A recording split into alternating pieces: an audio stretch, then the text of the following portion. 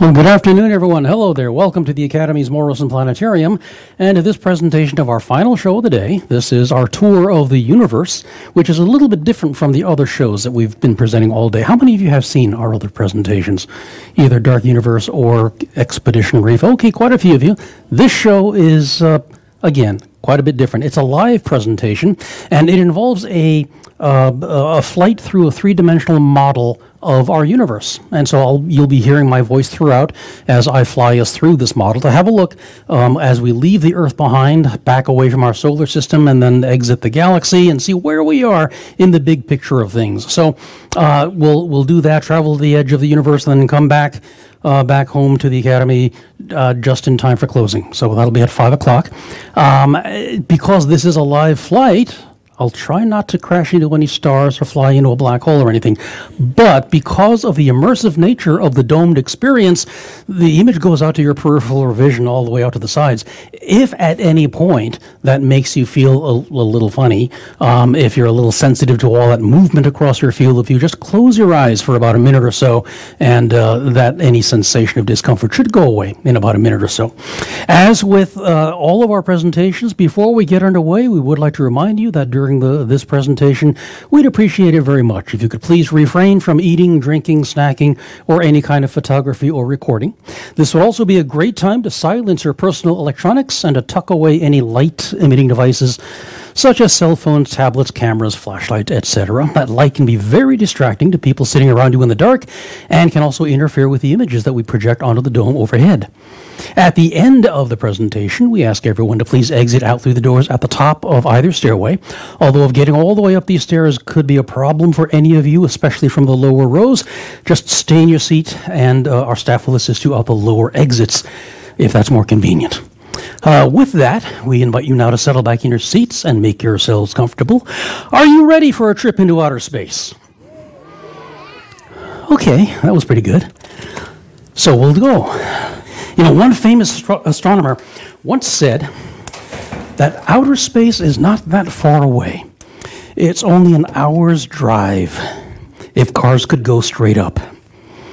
Which is true, because we're going to find out just where the edge of space is. And we're going to start our trip right here, uh, one kilometer above a place where people usually do go into outer space.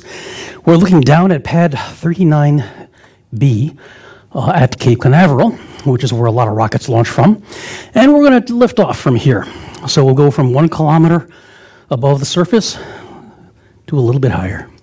And as we ascend above Cape Canaveral, we're going to see more of uh, the, uh, the base here. Pad 39A at the top. Over on uh, on the bottom, we'll see the vehicle assembly building just appearing right about there. Over on the left is that three and a half mile long runway that was used by the space shuttle. And down the coast, over to the right, you see a number of other launch pads and landing zones that are used. And now we're ascending to, we're about 10 kilometers up. We're, go, we're going to go a lot higher. We're going to go up to about 100 kilometers above the ground. That's about 60 miles. So roughly the distance from San Francisco to San Jose or to Santa Rosa. This is 100 kilometers right here, and this is the internationally recognized boundary of outer space. So this this is the limit. Now, why do they why do they use this? Uh, again, about 62 miles, 100 kilometers.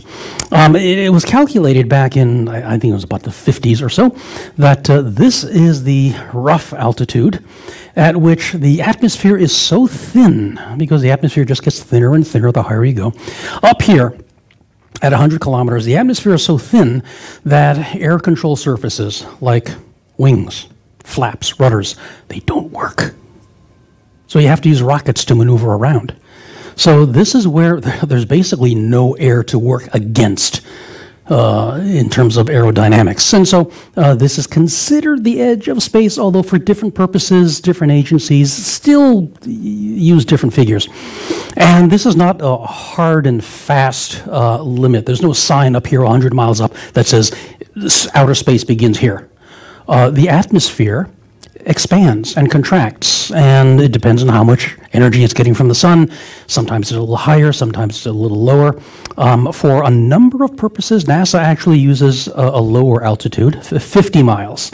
Um, but uh, the internationally recognized boundary used by uh, all um, aeronautical agencies is 100 kilometers. Well, let's go even higher than that because even though we're on the edge of space, we want to get safely into outer space. We'll go four times higher than this. So we'll go up to about 400 kilometers. And that is roughly the altitude at which the International Space Station orbits our planet. So up here is about 250 miles, 400 kilometers. The International Space Station is up here orbiting our planet, traveling at a speed of about 17,000 miles per hour, which is about as fast as a bullet. It circles the Earth once every 90 minutes or so, so it makes 16 circuits around the Earth every day. And this is the, the, the farthest that humans currently travel away from our planet. Although um, uh, about 50 years ago, they went even farther than this. They went about a thousand times farther. So we're going to go from 250 miles up to about 250,000 miles above the Earth. And so let's zoom away from our planet and go as far as humans have ever traveled, and that is all the way to our nearest neighbor in outer space, our satellite, the moon. Now, to find the moon, I'm going to uh, first turn on its, its orbit so that we can, uh, we'll see where our, our target is. So there's the orbit of the moon. And we're going to back off a little bit more. So there's the moon over on the right. We're going to turn in that direction and move forward toward the moon. Now, back 50 years ago, um, it took the Apollo astronauts about three days to get to the moon. We'll get there a lot faster than that because we don't have the time. We have to do this by 5 o'clock. So, approaching our satellite, this is our nearest neighbor in outer space. You can see it, it's a, uh, an object about 2,000 miles across, a bare rock. It has no atmosphere, no water. Although early astronomers used to think that those dark patches on its surface were bodies of water. They called them seas and oceans. But those dark patches are actually large, flat plains of dried lava which bubbled up from underground, spread out, thinned, and cooled into the, the plains of rock that you see. The lighter colored areas are covered, as are some of the dark areas, covered by lots and lots and lots of craters. Those craters were blasted out by the impacts of asteroids and comets during the moon's history. And you can't count the craters on the moon, there are just too many. But um, the International Astronomical Union recognizes about 9,000 named craters on the surface of the moon, but there are a lot more than that. But there are, they come in all different sizes. Uh, some of the bigger ones you see here are about 50 or 60 miles across, and they come even smaller than that and all that the result of impacts by asteroids and comets. And we're going back to the moon in the next few years, uh, courtesy of NASA's uh, Project Artemis, which uh, is going to return people uh, to the moon, um, hopefully, they say, to stay. So we'll see how well that goes. And the, the next couple of test flights uh, in the next few years will uh, let us know how, how that's going to go. But let's back away from the moon now and uh, have a look at where we are in the, our solar system. Now, we've talked about the moon being 250,000 miles away. That's a quarter of a million miles away. Um, as we travel farther out into space, we're going to encounter objects that are so far away that uh, it's going to take a long time to get there. It took the Apollo astronauts three days to get there. It takes a beam of light or radio signals about one and a half seconds to get from Earth to the moon, which is pretty nice. Get there really quickly. And we'll use that, the speed of light, as a sort of a, a, a standard. Uh, astronomers like to use that because it tells them how, not just how far away things are, but how long it takes for light to travel across those distances. So, uh, a quarter of a million miles, the distance from Earth to the moon, is one and a half light seconds. Uh, if we uh, travel from Earth to uh, other locations, say uh, to other planets, uh, we'll be talking about things that are so far away that they are light hours away. millions and millions of miles. Let's, let's back away from our solar system and have a look. Keep your eye on Earth there, the third planet from the sun. There on the bottom is the sun, our, our own star, 93 million miles away. That's what we learned in school. And it takes light about eight and a half minutes to travel across that distance. So uh, astronomers say that the sun is eight and a half light minutes away. That's the same thing as saying 93 million miles. And the other, other planets, we have the nearest planet to the sun is Mercury, and then comes Venus, and then Earth, and then the fourth planet from the sun is the red planet Mars. After Mars comes a, a big gap. That gap uh, between Mars and the next planet out is filled with a lot of debris. This is material that's left over from the formation of the solar system, and these are are called the asteroids. These are typically chunks of rock or metal, uh, and there are a couple of hundred thousand of these in this region between the orbits of Mars and the next planet out. Although there are lots of others that, that cross the, the orbits of the inner planets and some cross farther out.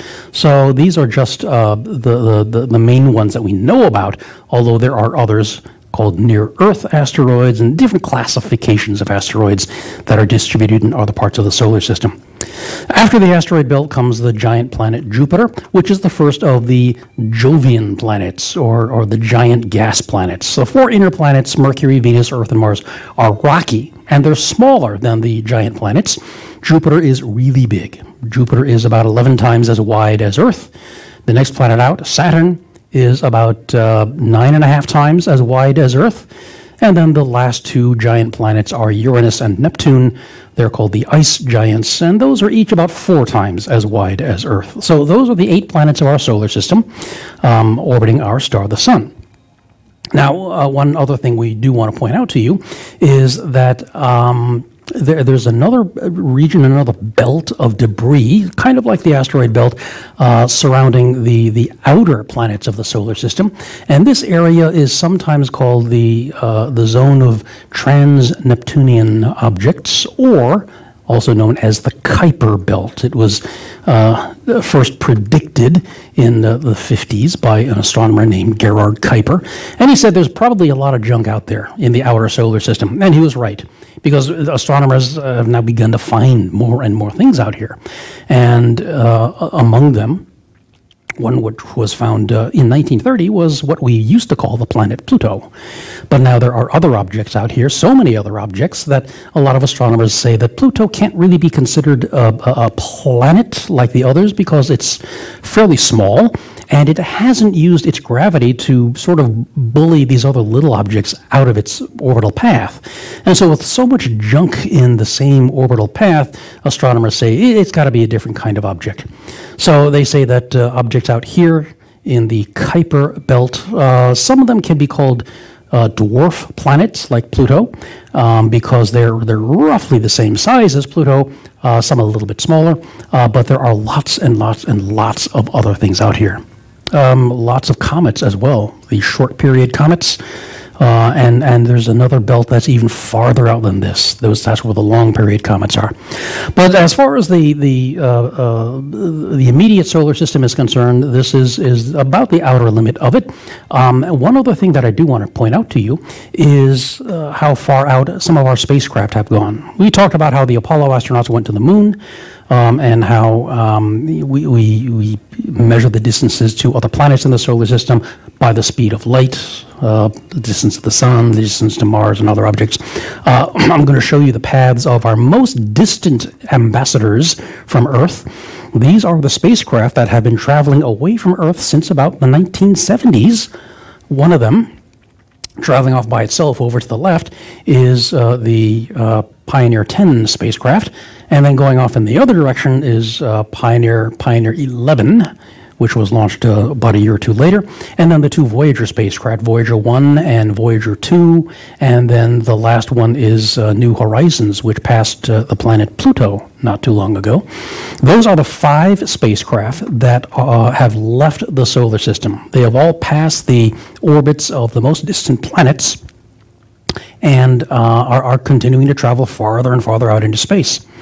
Those are our most distant physical emissaries. But there's something else that's even farther out there that is still evidence of uh, our existence in the universe. I'll point that out to you in, in just a bit. As we continue traveling farther and farther out from our, the sun, however, far away from our solar system, uh, we'll enter the, uh, the, the area known as interstellar space. This is the space between the stars. And now we're talking about objects that are so far away that their light takes years to reach us here on Earth. The nearest star to us Alpha Centauri is about four and a third light years away. That's about six, uh, about six trillion, um, 25 trillion miles. A light year is the distance that light travels in one year. Should explain that. And that's about six trillion miles. So every time I say light year, just multiply that by six trillion, and that's the number of miles that I'm talking about.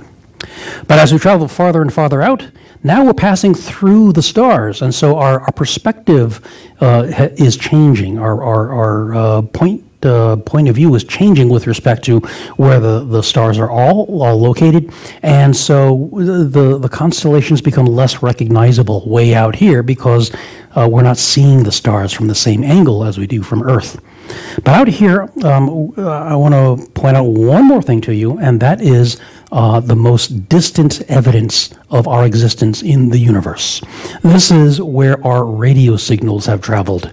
This giant bubble is as far out as radio signals have gotten. Um, for the past 90 years, we've been broadcasting uh, radio signals into the universe, some accidentally and some on purpose. And they've only gotten this far, about 90 light years out. Now you can see that there are actually some stars within this uh, radio footprint. So if there's anybody uh, there on, on a planet orbiting one of those stars, they might have heard our radio signals. Anybody else outside this radio sphere has not heard us yet. And so they wouldn't know that we're even here in the universe. They don't have any existence of us yet. So that's our radio sphere. We'll leave that on just to mark our location in uh, in the Milky Way galaxy because we're going to continue moving farther and farther out. And we'll back away from our giant family of uh, stars, the Milky Way. About up until about 100 years ago, astronomers thought that there was only one galaxy in the entire universe, the Milky Way. And then Edwin Hubble, you might have heard that name before, but Edwin Hubble pointed out that uh, there are other galaxies farther out, farther outside the Milky Way. Not only that, not only are there other galaxies, but the galaxies are all moving farther and farther apart. Not only was the universe bigger than we had thought before, but it's getting even bigger still. Our own Milky Way is a large, flat disk of several hundred billion stars. Uh, it's about 100,000 light years across, so it takes a beam of light about 100,000 years to get from one edge all the way across to the other.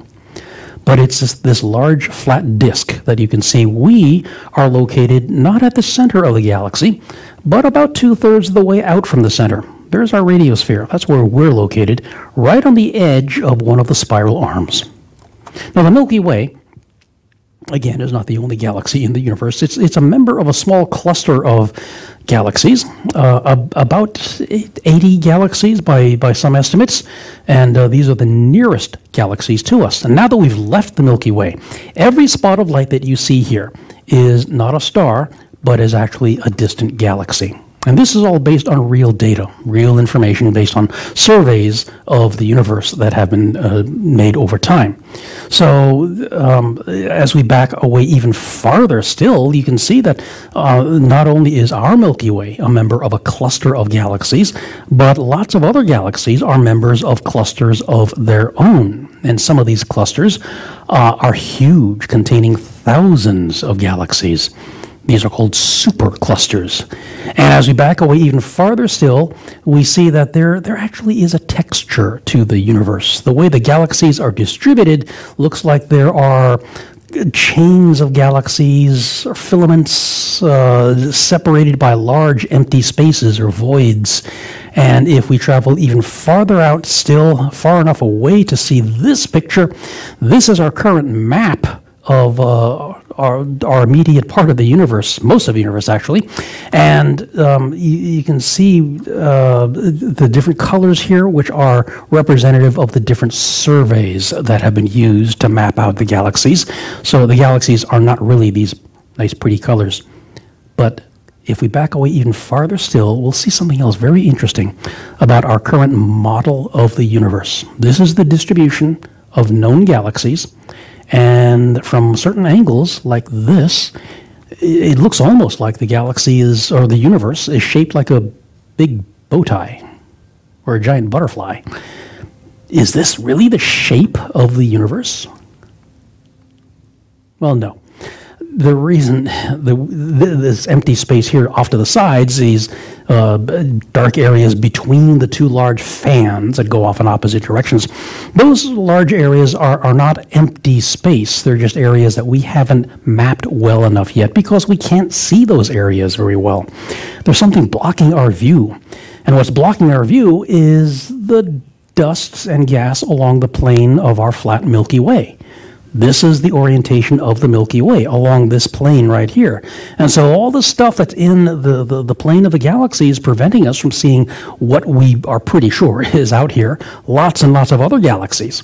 So eventually, as our techniques and technologies get better, we expect to be able to see more out here.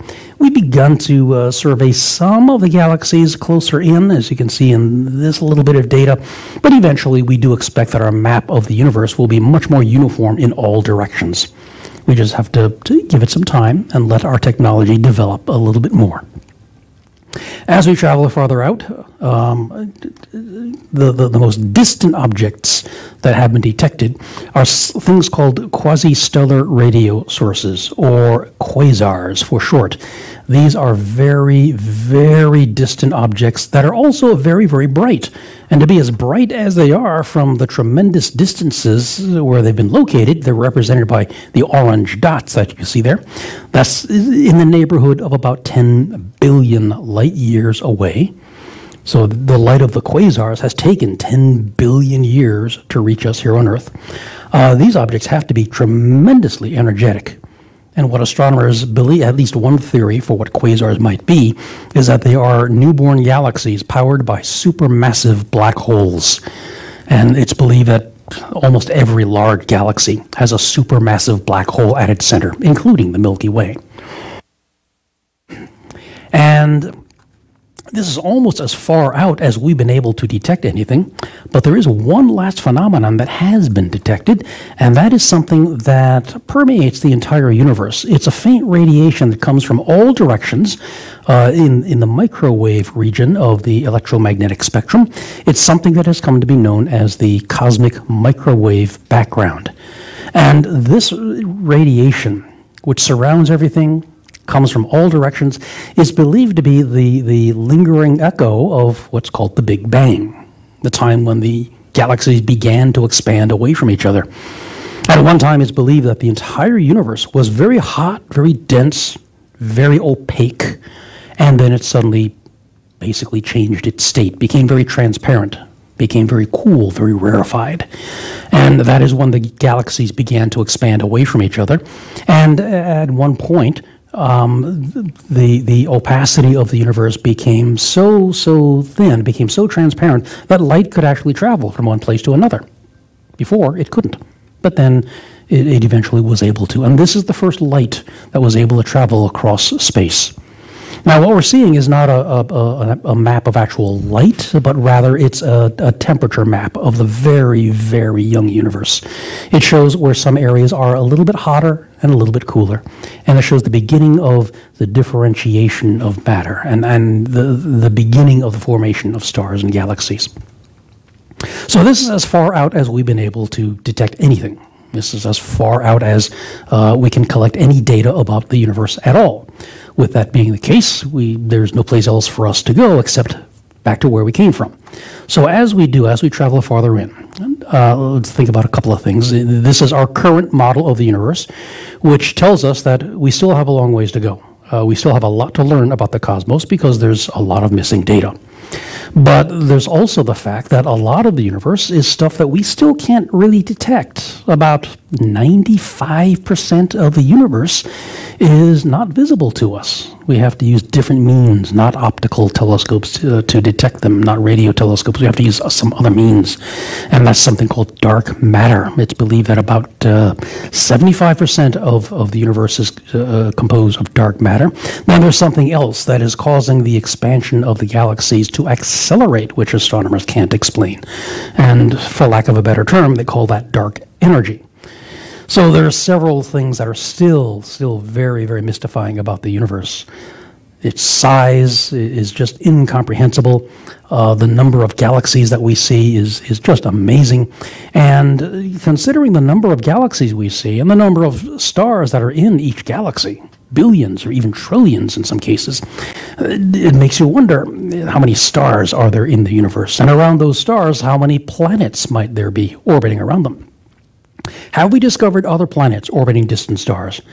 The answer is most definitely yes. Since about 1994, astronomers have detected planets orbiting stars other than the Sun.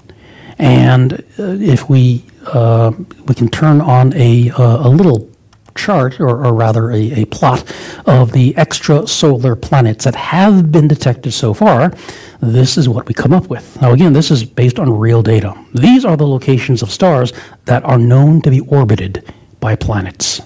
And so far, since about 1994, astronomers have detected more than 5,000 other planets way outside our own solar system. So, are any of those planets anything at all like the Earth? Well, we just don't know. And, and what does like the Earth mean, really? I mean, there are some that are about the same size, there are some that are rocky. Uh, do they have life on their surfaces? That we don't know. And we do know that it takes a certain number of circumstances for life to be able to uh, evolve and thrive on a planet. The planet has to it has to be the right kind of planet. It's got to have a good solid surface to for for things to develop. It's got to orbit the right kind of star that doesn't give off a dangerous form of radiation. It's got to be the right distance from the star so it's neither too hot nor too cold. Uh, and there have to be a lot of other conditions that must be met. Uh, the the the the planet has to be made of the right kind of stuff so that it has the nutrients that can sustain life. So there are lots and lots and lots of, of special conditions that need to be met in order for us to say whether or not a planet can support life and therefore whether a planet can be considered Earth-like. So that being the case, with as little as we know so far uh, in our travels through the universe, from the Milky Way out to the edge of the observable universe and back, past all the billions and billions of stars, past the 5,000 and more planets that we know exist out there, we find that there is quite literally no place like home. There is nowhere else in the universe, as far as we know, where life can exist just yet, but we're still looking. And with that, welcome home. Welcome back to the planet Earth, and thank you much for joining us on our tour of the universe.